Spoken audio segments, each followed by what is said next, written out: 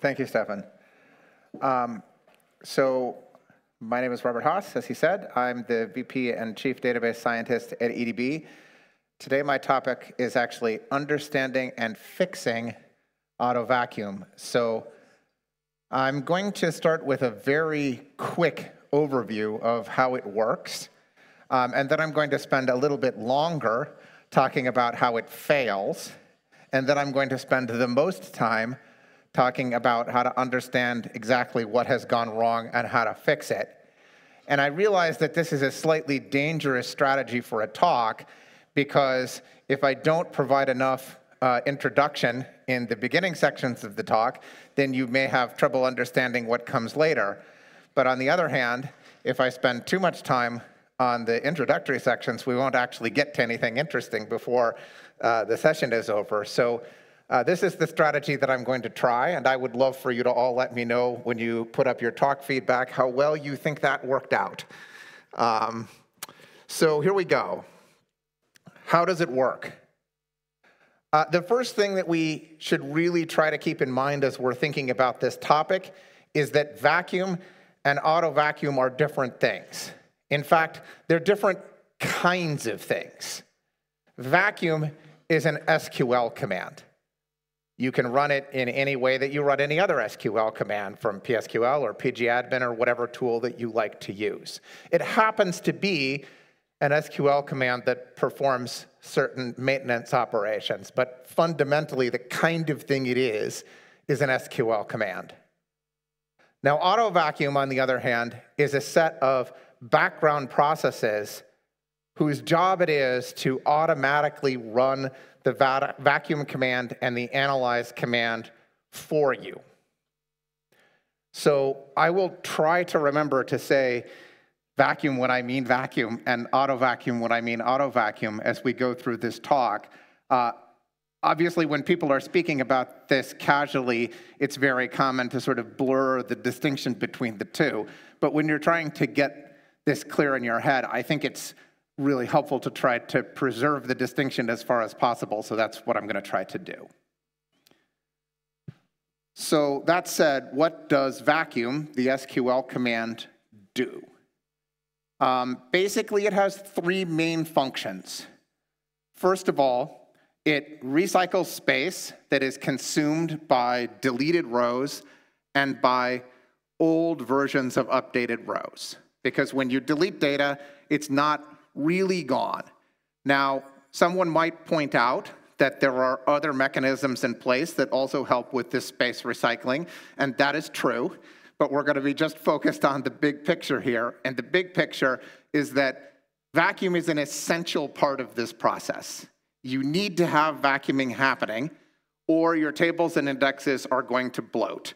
They are going to become unreasonably large compared to the amount of data that they actually contain. The second thing that vacuum does is it allows for the reuse of transaction IDs, which we call XIDs, and of multi-transaction IDs, or MXIDs. And here again, there's a whole discussion that we could have about what these values are. But what we really need to understand for purposes of this talk is that they are a limited resource and you don't want to run out. And in order to not run out, you need vacuum to be making uh, the ones that were used a long time ago reusable so that you can use them again. If that doesn't happen, then you are eventually going to run out of one or the other kinds of these IDs, and your system is going to stop accepting either some write transactions if you run out of MX IDs, or all write transactions if you run out of XIDs. You probably won't enjoy that very much if it happens to you. The third thing that vacuum does is it updates the visibility map for tables. And that has the effect of making future vacuum operations more efficient.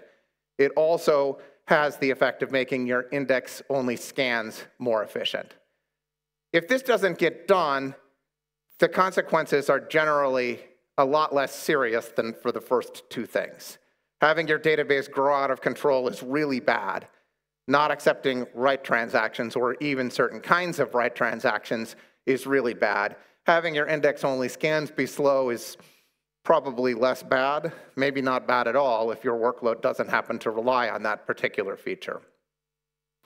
The overall point that I want you to absorb from this slide is that if you don't run vacuum regularly, or if it fails to accomplish the tasks that it is intended to accomplish, really bad things are going to happen to your database. Uh, if you're not yet convinced of that based on what I put on this slide, uh, then I guess you'll have to go to another talk which is more specifically about uh, why all of those bad things happen, or uh, have some bad real world experiences, but that's as much as I'm going to say about why it's bad if you don't vacuum.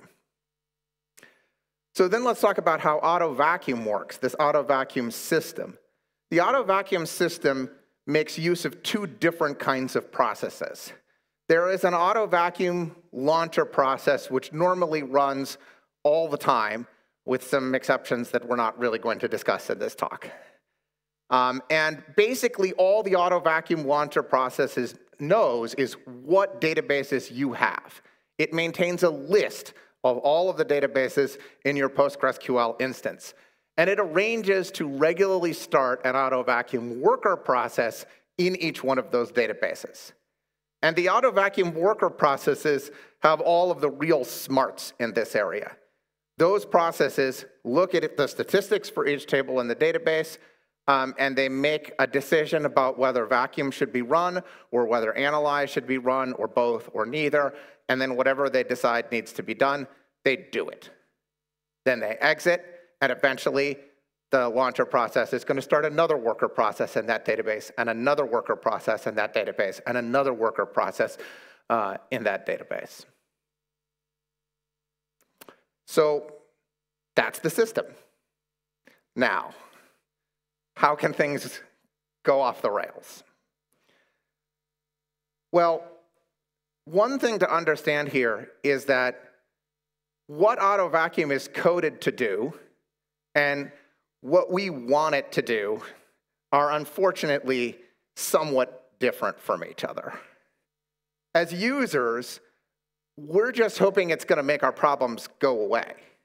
We want it to maintain the database with low bloat and plenty of available XIDs and plenty of available MXIDs and an up-to-date free space map and all the things. The maintenance that Vacuum is supposed to do, we want that to happen at the times when it needs to happen, to not happen at the times when it doesn't need to happen.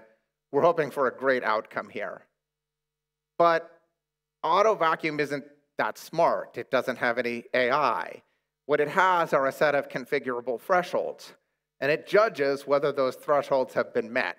And depending on whether they have or not, it either takes action or it doesn't. So if those thresholds are not configured in a way that is appropriate for the system, then auto vacuum may work correctly in the sense that it's doing exactly what it was coded to do, but it may fail to achieve your goal, which is to have your database keep working. Um, so that's kind of how the auto vacuum system can go wrong. But then also, any problem with the commands that it runs can also cause things to go wrong. It's just a system for running vacuum and analyze. So any problems with those commands are also going to potentially have negative results. So what can go wrong there? For the most part, the problems come from running the vacuum command rather than running the analyze command.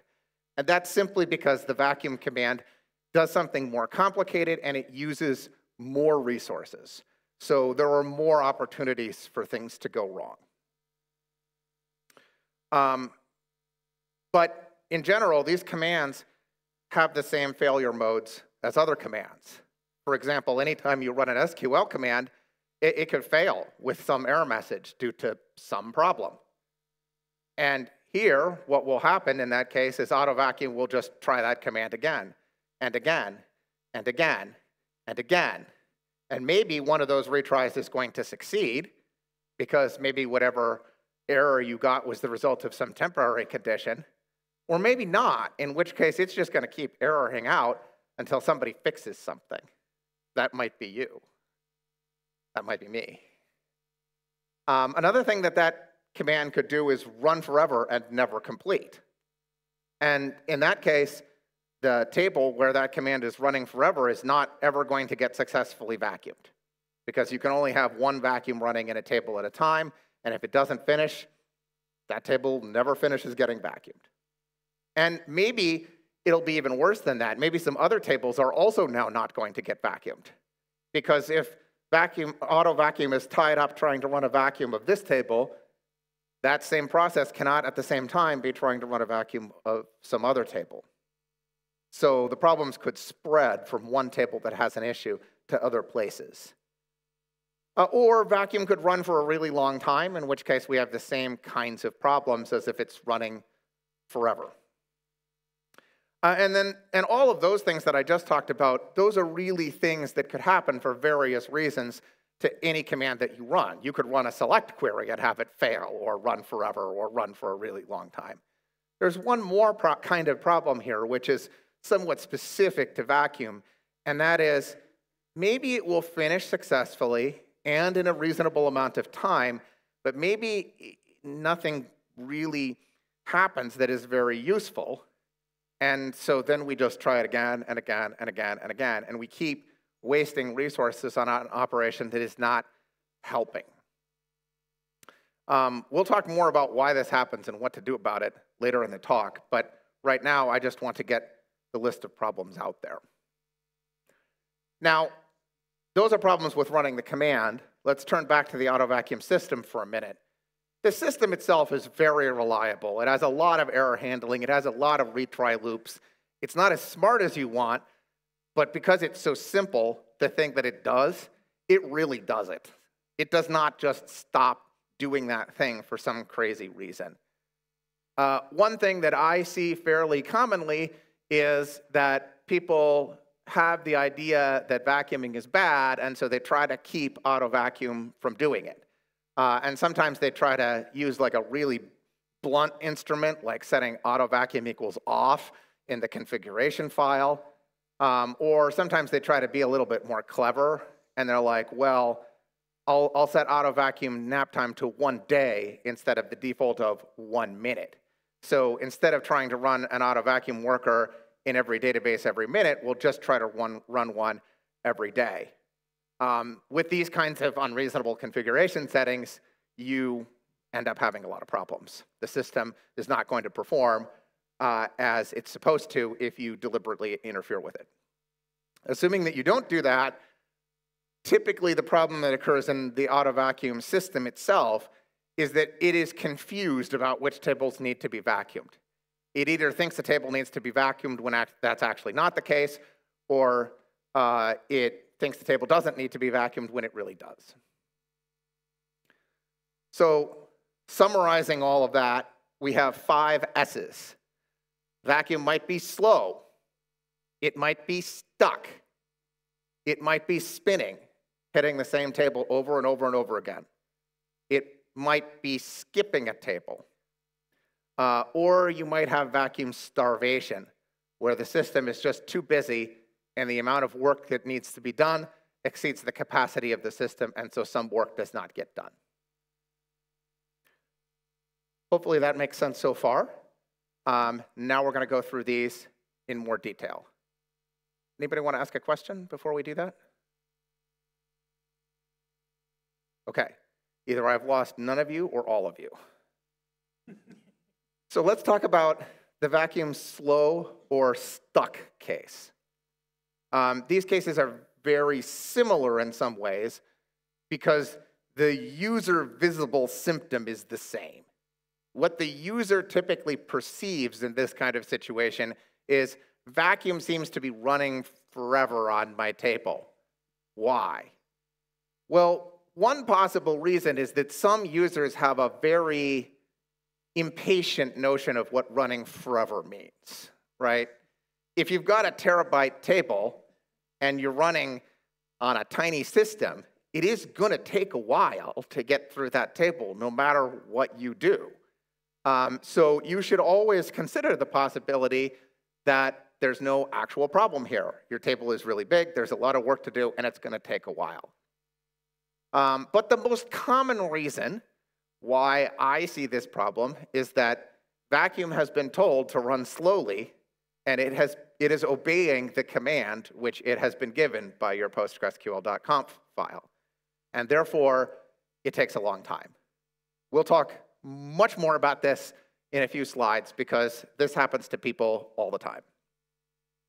There are a few other causes of this that I want to mention, which I won't be going into more detail about, but I do want to call them out here uh, because you may see them. One is that vacuum might be waiting for some other PostgreSQL process to complete some operation.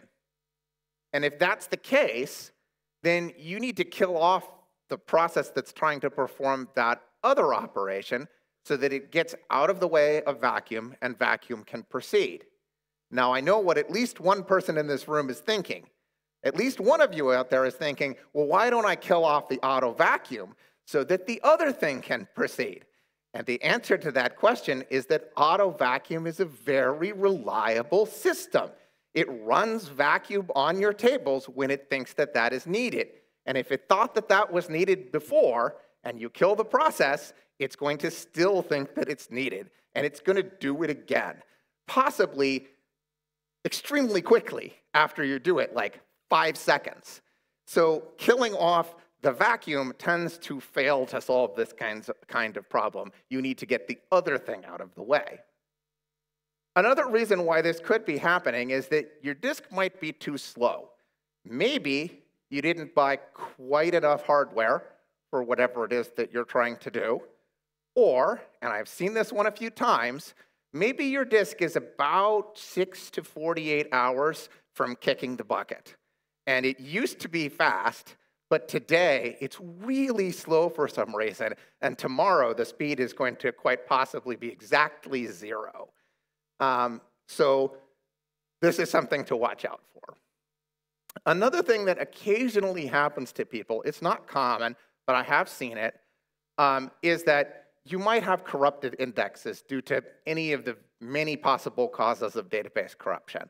Hardware bugs, software bugs, Linux kernel bugs, PostgreSQL bugs, you doing backup and restore wrong, that's a very common one. All kinds of reasons why you can end up with a corrupted database. Um, and then you can get into an infinite loop. This can really only happen with the indexes, not with the table, because when we process the table, we start with the first page of the table and we keep going page by page by page by page until we get to the last page of the table, and then we're done. So that can't go forever. It can only go for a long time if your table is really big. But when we vacuum the indexes, we process them in logical order. That means every page we look at, we say, we look at that page and it tells us what page to go to next. And then that page tells us what page to go to after that, and so on.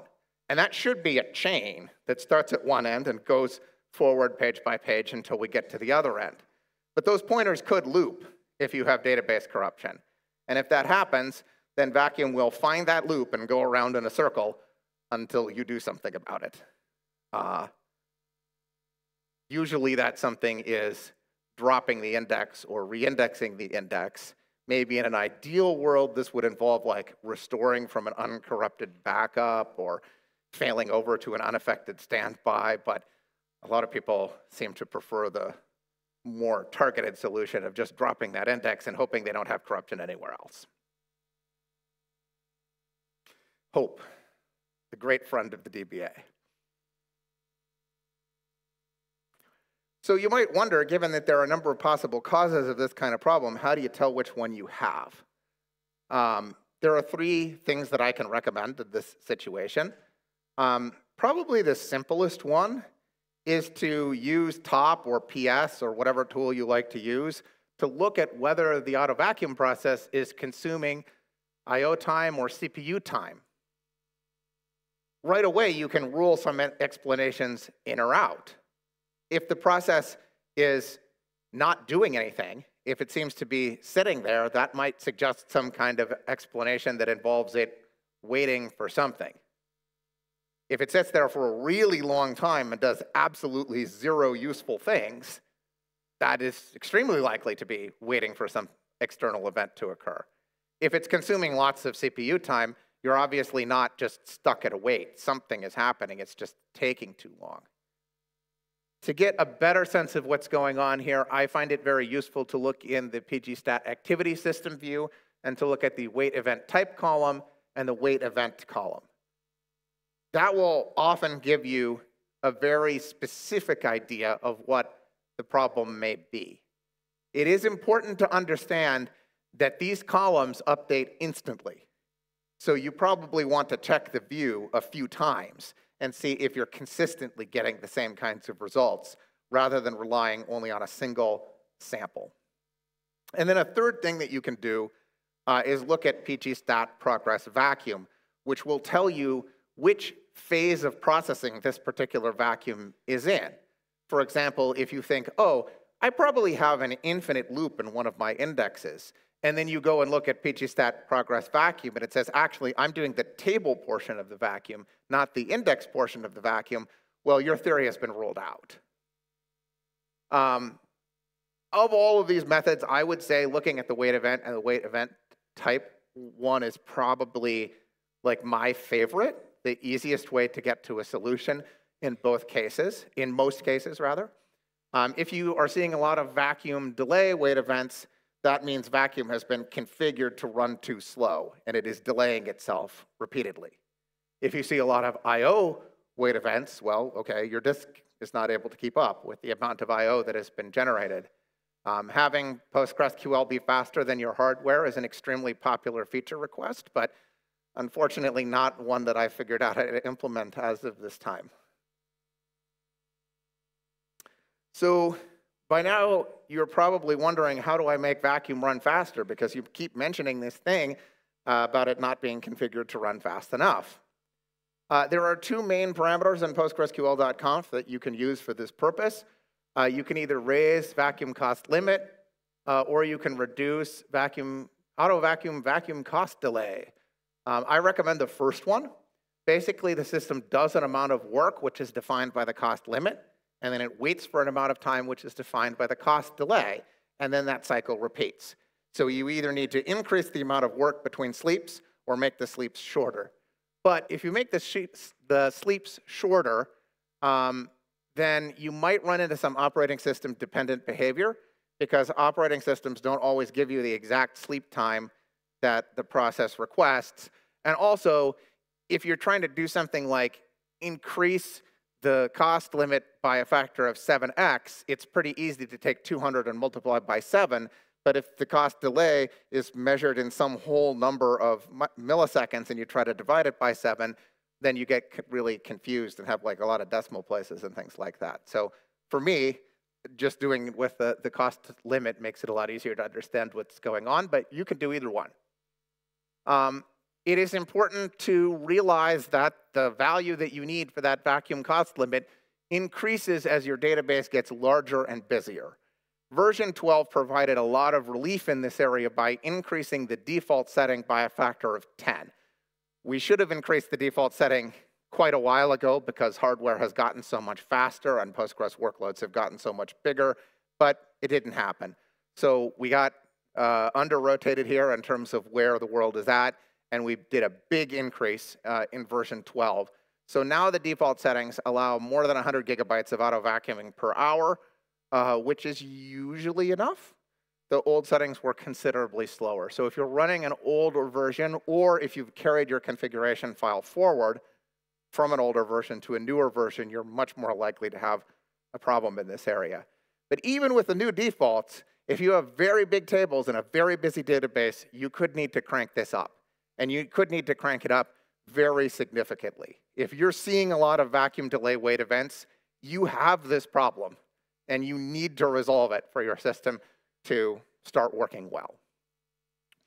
Um, the value of this cost limit is shared across all workers. So if you raise auto vacuum max workers, each individual worker goes slower.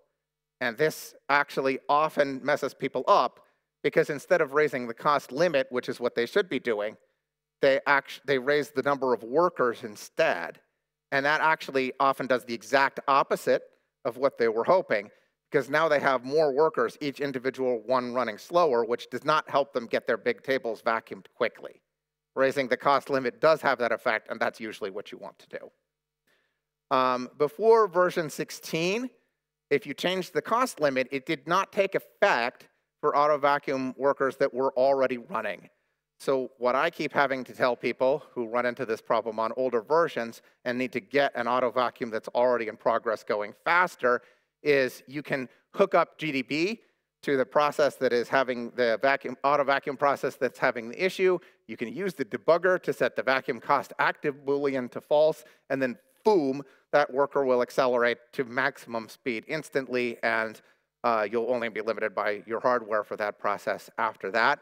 Uh, this is a good trick that I have used to help many people who find themselves in this kind of situation, but it's obviously a nasty hack that you don't want to have to do on production, and that's why Melanie deserves huge props for making the system able to actually respond uh, to these kinds of changes on the fly. Uh, starting at version 16, you'll just be able to raise the cost limit, reload the configuration, and away you go. Um, that, I, I think that's a huge improvement. Maybe that's because I spent too much time helping people with bad auto vacuum settings, but it is really a good change. So let's talk about vacuum spinning. Um, here, the user visible symptom is different. Instead of seeing uh, one vacuum running on a table forever, you see a series of vacuums running on that table over and over again. Even more than in the previous case, you should really consider the possibility that this is normal.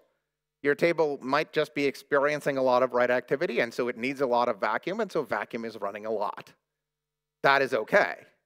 Uh, but there are a couple of scenarios that you want to watch out for here.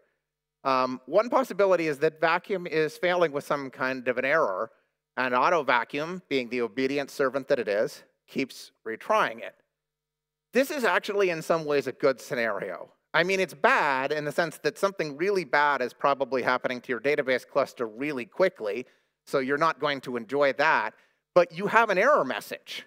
It doesn't just say error in the log. There is some message there that will at least give you a clue what the problem is. And if that error message says something like IO error, well, you may not like it, but at least you know where to go looking for the problem. Um, the other kind of reason why this tends to occur is that auto vacuum and vacuum do not agree with each other about whether your table actually needs vacuuming or not. And the reason why this happens is that auto vacuum is approximating. Vacuum itself knows the real answer. So if auto vacuum's approximation makes it think that your table needs vacuuming, vacuum may run and go, no work here, no work here, no work here, no work here, no work here. Okay, I'm done. Auto vacuum looks and goes, huh, nothing seems to have changed. Run that guy again. No work here, no work here, no work here, no work here, no work here, done. This is clearly a very frustrating situation because you're just wasting a lot of system resources and nothing is improving. Um, in my experience, the reason why this usually happens is because you've got either a long-running transaction or something that's effectively equivalent to that uh, running on your system. So it may actually be a long-running transaction. You should check pgstat activity.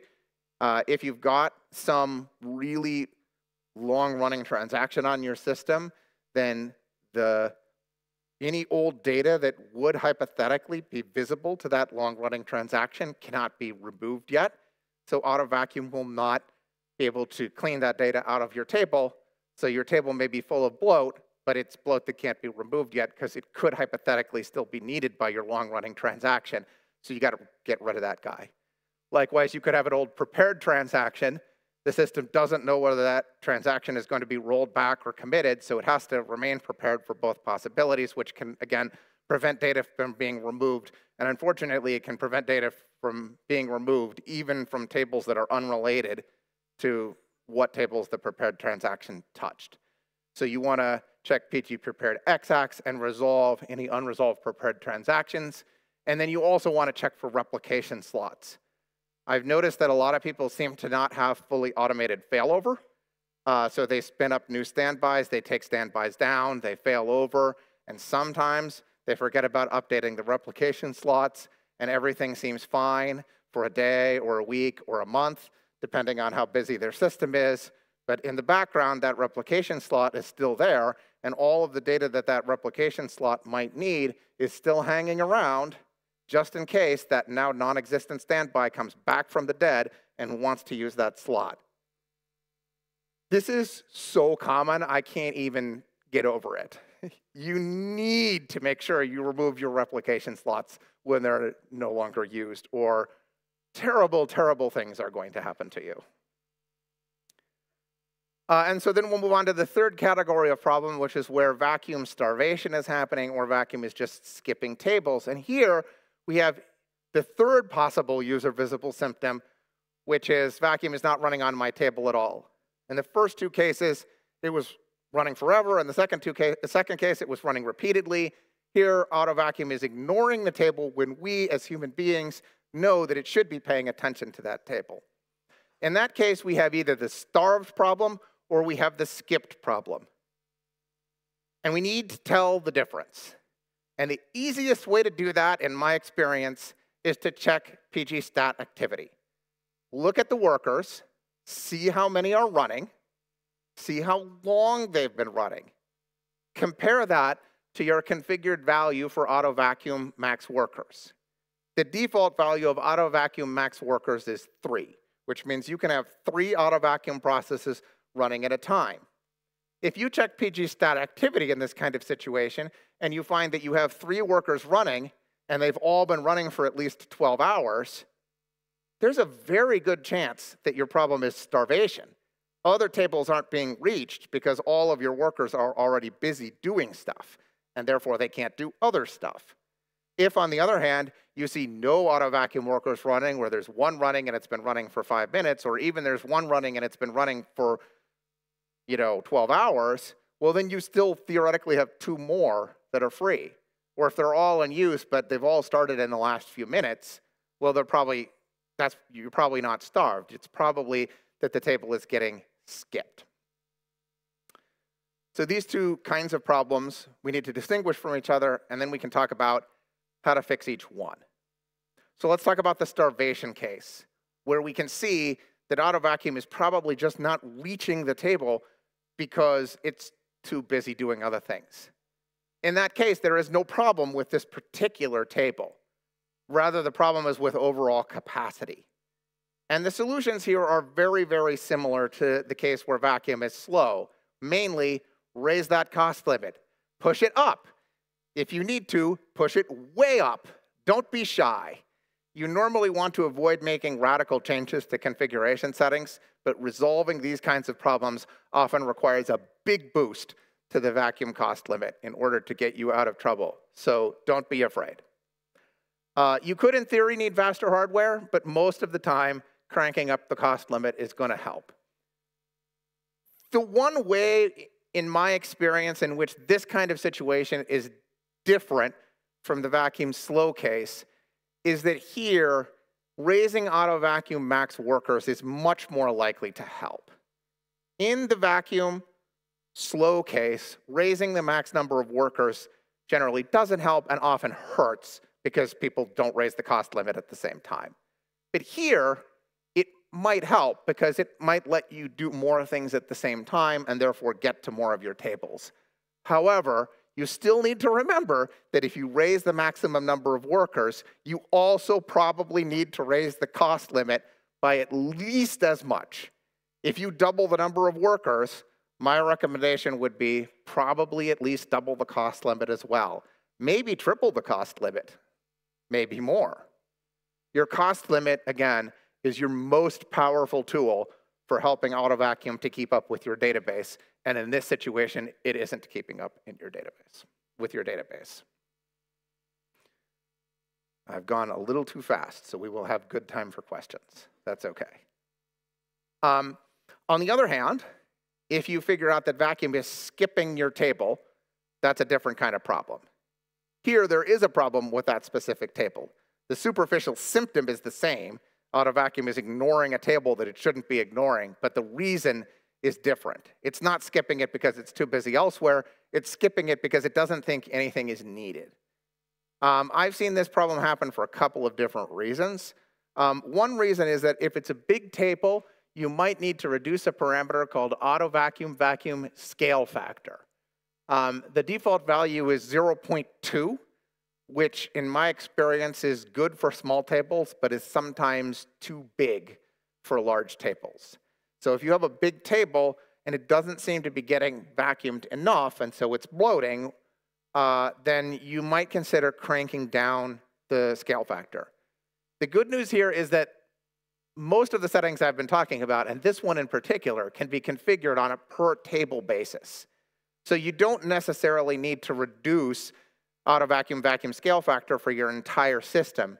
You can just reduce it for specific tables, probably your big tables. You could reduce it to 0.1 or 0.05 or 0.02 or whatever value gets you enough vacuuming on that table to keep the size of the table under control. Um, it's also a really good idea to check whether anybody else might have applied some custom configuration settings to the particular table that's causing the problem. Um, more than once, I've discovered that the table that isn't getting vacuumed, somebody set auto vacuum enabled equals false on that table. And then that person uh, left the building or, you know, whatever. Uh, and, huh, that table's getting really big for some reason. Yeah, it's getting really big because it's not getting vacuum. It's not getting vacuum because you told it not to vacuum it.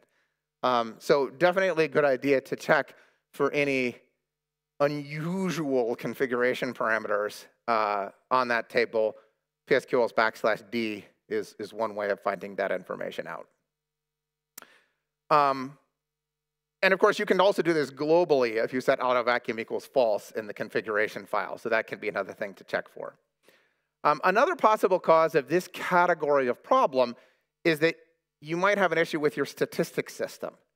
All of the, most of the data that AutoVacuum is using to make decisions about whether to run vacuum or not is coming from the statistics system. So garbage in, garbage out. If the statistics system doesn't provide useful data about what is happening with your tables, then AutoVacuum won't know what to do. Um, if you think you have this problem, one thing that you can do is try a manual vacuum of the affected tables, or maybe of your entire database, and see if that gets things back on track. If that doesn't seem to be getting things back on track, you might need to contact uh, an expert on this topic uh, because you might have a really weird problem. One pretty common reason why this happens is that somebody gets the bright idea that it would be a good idea to run pgstat reset, that says throw away all of my statistics. If you throw away all of your statistics, you don't have any statistics anymore. In particular, you don't have any statistics that suggest that vacuum needs to be run. Then auto vacuum will decide vacuum doesn't need to be run. And then you'll have all of the problems that come from not running vacuum. Don't run pgstat reset. Maybe propose a patch to remove that from Postgres, because it is an extremely bad idea. It's an extremely bad idea. Uh, one thing that sometimes confuses the issue here is that there are various safeties built into the system that will always force auto vacuum to start doing something anyway. You, if, if you configure auto vacuum equals off, and then you, you know, set the nap time to a day, and then you set the scale factor to, uh, you know, 20 million and, and you do all kinds of crazy stuff uh, to try to get auto vacuum to not run, A, you're shooting yourself in the foot, but B, eventually it will start ignoring those instructions and it will start doing stuff anyway. But by the time that happens, there is a very good chance that your system is going to be in a terrible state and that you're going to have a very lengthy recovery process to get back to a state where things work well enough that you can actually use your database system. So don't let it get to that point. Deal with problems when they're when you when they first start happening rather than just letting it go on and on and on. But also if you come across a system that is in a really bad state, just remember that the fact that auto vacuum is running doesn't necessarily mean that the user wanted auto vacuum to run. It may merely mean that they ran past all of the safety nets and eventually the system enforced that on them. And you still need to go through the uh, activity of checking all of the configuration settings and make sure that they're sane. And there's a very good chance you're going to find out that they're not, uh, and that the person has tried as hard as possible to postpone vacuuming. Remember, vacuuming is like exercise. If it hurts, you're not doing enough of it. Thank you very much.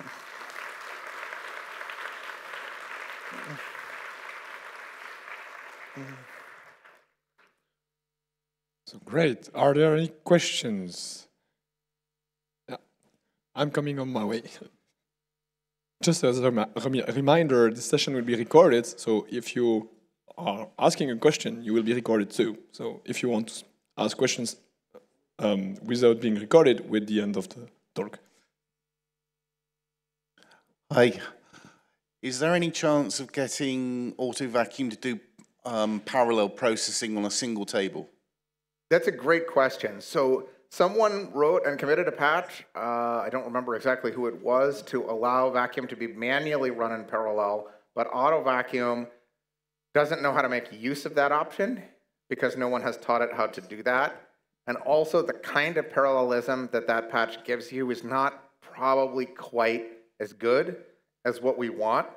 So I do think that there is a chance of that happening eventually, but there's probably a reasonably decent amount of work that needs to be done in order to make that possible.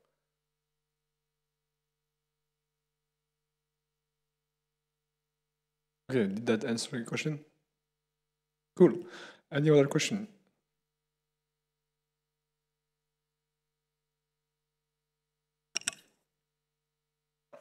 I realize this is probably, there's probably a very good reason for this, but I'm going to ask anyway. Is there a reason why we don't consider global xmin when we are, sorry, when we are contemplating whether to go vacuum a table for wraparound purposes? That is, why do yeah, we not? we don't, we, we, we know that this is too technical for this Sorry. large audience, but basically we, we do know the global xmin, but we don't know enough about the xmin distribution in the table to do anything particularly useful with it. So we just don't have enough data. If we knew, if we had a map of where different xmin's, a heat map of where different xmin's occurred in the table, All right, uh, you're, I understand the question you're answering, but that's not the question I was asking. Um, what I was just trying to say is whether or not, like, there's no point going to go vacuum a table to move xmin's, or to move XIDs forward if we know we can't, because the global xmin is held back, so we should just right, but we just, we, we don't know that. Okay. Uh, maybe we know it in some certain cases, and maybe there's a, a simple case that optimization that we're missing, but I think in general, we just don't have the information.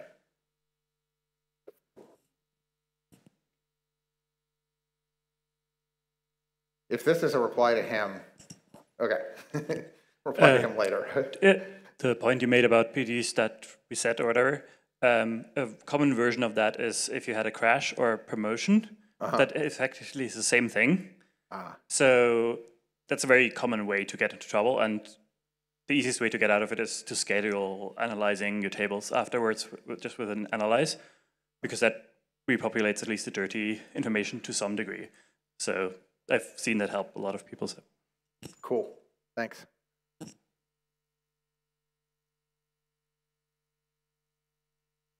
Whenever I think about vacuum and auto vacuum, uh, all these buttons we have, cost limit and whatever, I feel like it's a nuclear control panel. And we add more buttons. For example, two releases ago, we added the insert scale or factor for append only tables. Um, and it's very hard to understand, even if you've been doing a lot with vacuum. Um, I was thinking we used to have WAL keep segments, which was also a number. Now we have WAL keep size, which is more easy to grok as a DBA. I, I can configure it as size. Is it a possibility to think about having parameters not in costs and in limits Yeah, and in I- nanoseconds, but in megabytes per second? I'm or- pretty or- sure I proposed that idea about 10 years ago and was ah. told it was bad, but it's probably time to repropose it again because it's still a good idea, even though some people think so, because they're, they're wrong, and I'm right. I mean, that's, I, this wasn't, he didn't put me in the audience to ask the question, by the way. I was unaware of this. but ye- yes, I think better units for some of the settings would be a great idea. You would lose some power, right? Because your cost limit is a mix of the, the cost of touching a clean page and the cost of dirtying a page and the cost, you know, there's several different cost ingredients that go in there. And so in theory, that system gives you more power than, than, than various other things that you might think of that are written in more reasonable units. And that was the objection that was raised when I floated this on the list. But of course, you've, you've hit on the real issue, which is that unless you're very good at this, and maybe even then, you don't know what the heck the current settings do. And so the fact that they have all of this theoretical power doesn't really help you as much as the fact that you don't understand them hurts you. So I am on board with your proposition. Okay, so maybe la one last question. Uh, yeah. Everything. Okay, all right. Um, so uh, actually, okay, can I do two questions and one? Uh, I'll do it anyway. So uh, first, um, how reliable, uh, from your perspective, are the scripts we all know which measure the bloat? Because uh, I also like try to find the best one, and most time, not most times, I often get complaints. We just vacuumed, we ran your, not mine, below script, and it still shows that we are bloated. And related, uh, there are two scripts, one for tables, one for indices. And uh, in general, I do not have clear idea whether it has any effect on indices. I heard different answers. So Yeah, so there are various ways of approximating how much bloat you have in your table. There's a very, and, the, and it's basically a trade-off between speed and accuracy. There's a very old query that was written um, by Greg Sabino Mullane that's part of check postgres.pl and which has been widely copied by many other people and to many other places, which is cool, but it doesn't know about things like toast. So it just gives wrong answers, and it's heavily reliant on the data in pgstatistic, and sometimes Analyze decides not to store some of the things that that query wants, and then the query just is like, okay, I don't know, and it gives wrong answers. Um, you have pgstat tuple, which is the other end of the spectrum. It's quite accurate, but it's quite expensive because it has to stand, scan the whole table. And then you have pgstat tuple approx, which is somewhere in the middle. It gives a less accurate answer, but at a, at a cheaper cost. So the real sort of meat of the problem here is that it's very hard to know the exact situation that the table is in without doing a lot of work, right? So I think that there are things that could be done with enough development effort to like fix the system so that it's more feedback driven and that like if we find that we're repeatedly vacuuming a table and not getting anywhere, maybe we remember that and we don't just stay in that vicious cycle forever. We wait till something changes before we try again. It is, I think, reasonably hard to come up with very compelling ways of addressing these problems. But on the other hand, anything would be better than what we've got right now, right? I, I think in general, you know, as far as the bloat monitoring stuff is concerned, my advice would be look at it, but don't take it as gospel recognize that whatever you do to detect your bloated tables is better than the majority position of doing nothing at all to detect whether your tables are bloated. And any solution that you have, no matter how stupid it is, is far superior to not having that monitoring in place. But also, uh, there are probably better and worse solutions within that space, and you can try to sort of experiment to figure out what is best for you. But unfortunately, there is no silver bullet. There's no solution which is both highly accurate and highly performant, and there probably never will be. Um, so, yeah. Okay, thank you very much for that closing word.